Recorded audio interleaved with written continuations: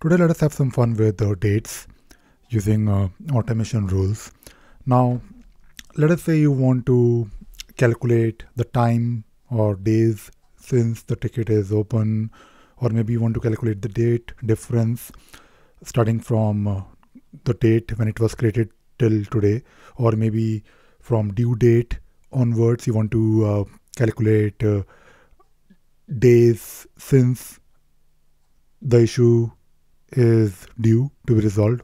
Anything anything related to date you can do that uh, quite easily actually with the, these automation rules. And uh, you can always take a look at this page. If you go to the smart value documentation you can find this page called date and time functions. Now for our example what we'll do we'll basically take a look at this uh, part here uh, this particular uh, uh, date diff function kind of a function i believe where you can uh, do something like date 1 dot diff and you can use date 2 and then you can specify the unit like uh, unit is let us say hours days or weeks or months or years or, or maybe business days. I think uh, i think business days make sense especially when you don't really want to count uh, the weekends. Now in our example we'll be using this uh, this smart value and uh, this smart value to get the the created date issue dot created and then we'll uh, maybe take a look at the weeks or dates. So in our in our case in our rule what i'll do i'll uh, for for the sake of example i'll trigger this rule to to to run when i transition the issue to maybe in progress on hold or work in progress. And uh, and to show you how it looks like we'll simply add a comment and also we'll add we'll update a custom field for example. Because why not? So to get the dates uh, so to get the, the, to get the days since the issue was uh, created you can use something like now now dot diff then you can use uh, issue dot created then you can pass the unit which is either days or maybe weeks. And then you can do something like dot abs which is absolute. So you don't really want uh, the negative value. So i can use absolute here. Uh, and by the way i'm i mean i'm just uh, using the example here.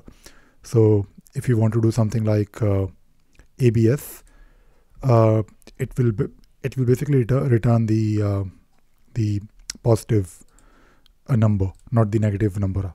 So you you can you can obviously take a look at uh, different math uh, functions, I believe, if you want.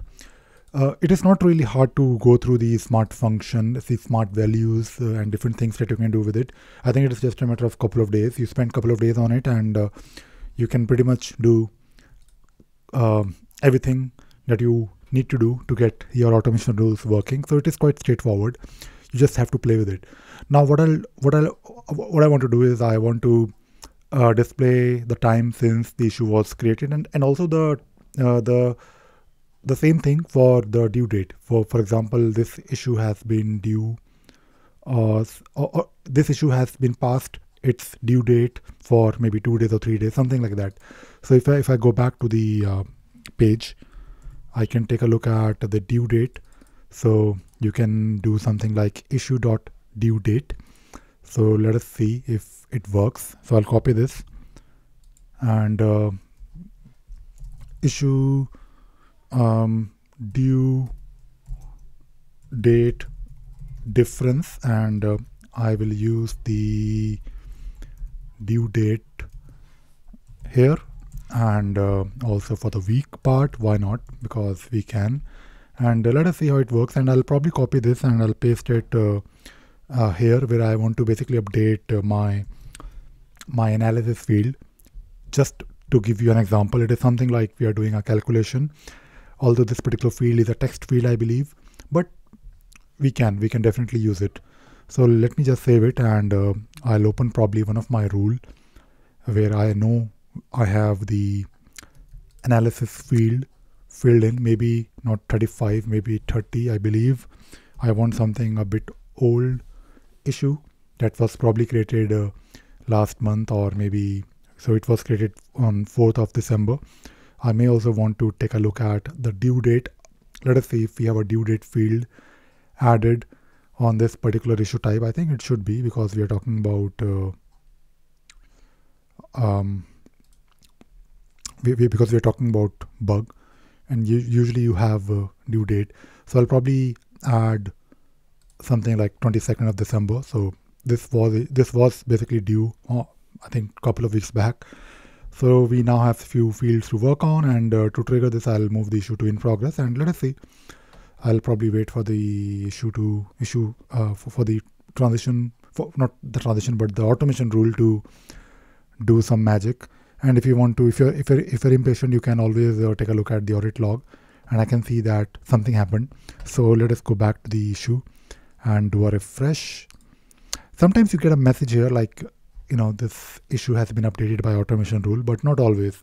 I, I don't know the reason, but it seems to be working because now you see here that we have a comment added, and we also have this uh, analysis field, which is now showing us uh, days since. Uh, the created date, which is, I believe, uh, since 4th of December. It looks okay to me. And also we have uh, the time, or not the time, but days since the due date. So it works. It, it works uh, uh quite well.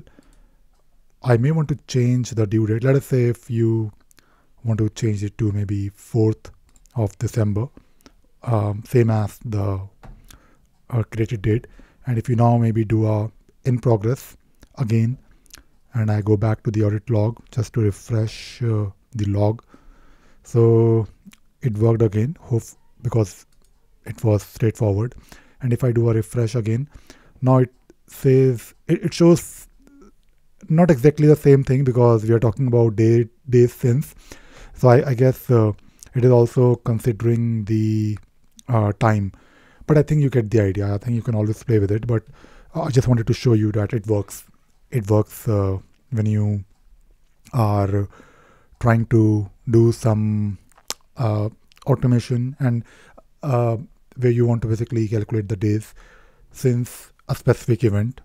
Let us say days since created or days since the due date. Like this issue should have been resolved hopefully by 4th of December it was actually 22nd of December, but uh, that was the original date. Now, maybe for some reason you realize that it is not it is not really possible. Maybe you want to set the new due, due date as uh, maybe 19th or something else, so you can now reset it. But you will have this information in the history that you did update the due date. So you, you can probably do a bit of KPI if you want using these uh, calculations that you can perform on uh, on the date fields. So I hope you are enjoying the, the series on automation uh, uh, rules using uh, Jira.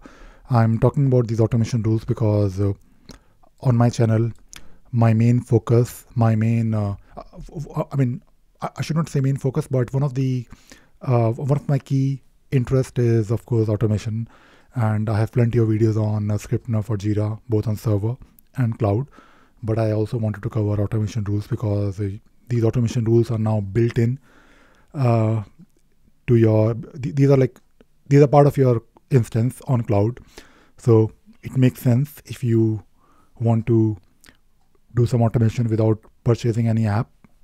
Totally fine. I mean, uh, you can do a lot of things, and that is what I want to cover. That is what I want to show you that use even by using the built-in automation rules, uh, you can do quite a lot of uh, interesting things. Um, and uh, do let me know if you have any specific thing that you want me to cover using the automation rules, the built-in automation rules. Although I have covered quite a lot of uh, things already. Uh, we have already covered things like uh, calling REST API, webhooks, and how to interact, how, how to basically integrate Jira Service Management and Jira software-based projects. So we have been covering quite a lot of things, and I'll probably continue this journey if I have to, if if I encounter something totally new, if I come across uh, some interesting use case, I'll definitely share, uh, and I'll probably create a video as well. So I hope you're enjoying these videos. So that is all I wanted to cover in this video. I hope you enjoyed watching this video and you also learned something new today. Thank you very much.